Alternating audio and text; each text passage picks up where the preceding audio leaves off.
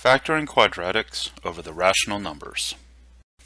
Our first example is to factor x squared minus 1.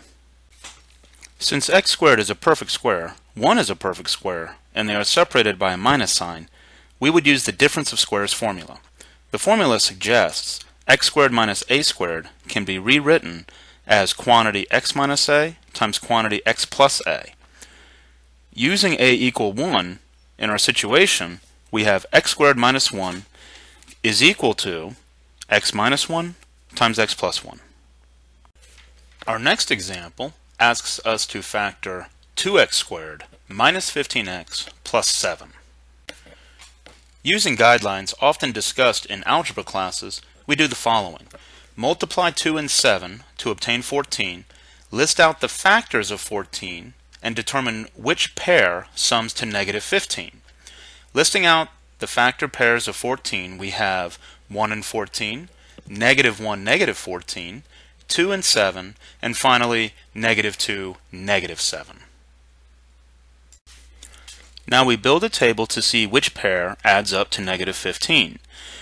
We have 1 and 14 that adds up to positive 15, negative 1, negative 14, which adds up to negative 15, 2 and 7, which adds up to 9, and negative 2, negative 7, which adds up to negative 9. So negative 1, negative 14 is our pair. Now we can rewrite the negative 15x as negative 1x minus 14x and factor by grouping. Under our rewriting we have 2x squared minus 15x plus 7 is equal to 2x squared minus x minus 14x plus 7. From the first two, we may factor out an x, leaving us with 2x minus 1 as an additional factor. From the last two, we may factor out a negative 7, which also leaves us with a 2x minus 1 as an additional factor. Since both of these share the quantity 2x minus 1 as a factor, we may also factor that out, leaving us with the quantity x minus 7 times the quantity 2x minus 1. And we now have the factorization. Our third example asks us to factor x squared minus 1 sixth x minus 1 third. First thing we'll do is factor out 1 sixth from the expression. This will lead to a quadratic with integer coefficients. Then we shall follow the guidelines stated in example 2. Thus, x squared minus 1 sixth x minus 1 third is equal to 1 sixth times the quantity 6x squared minus x minus 2. Now we need to find two integers whose sum is negative 1 and whose product is negative 12. That would be negative 4 and positive 3. Now that we have our integers, we may rewrite the middle term as 3x minus 4x. And that is what we've done here in the first step.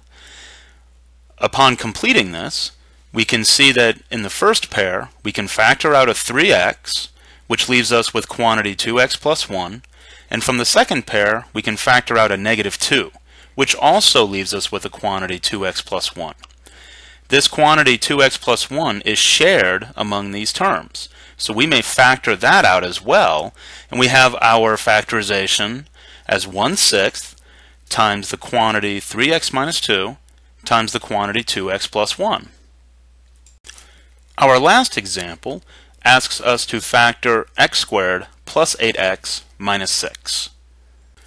If we attempt to follow the guidelines stated in example 2, we need to find two integers whose product is negative 6 and whose sum is 8. If we list out the integer factors of negative 6 and sum them, we have the following table. We have negative 1 and 6, which adds up to 5. We have 1 and negative 6, which adds up to negative 5. We have 2 and negative 3, which adds up to negative 1. And we also have negative 2 and positive 3, which adds up to positive 1.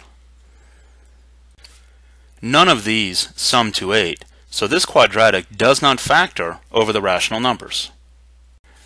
Thank you for, Thank you for watching this attention. video on Zoom Math software for factoring quadratics over the set of rational numbers.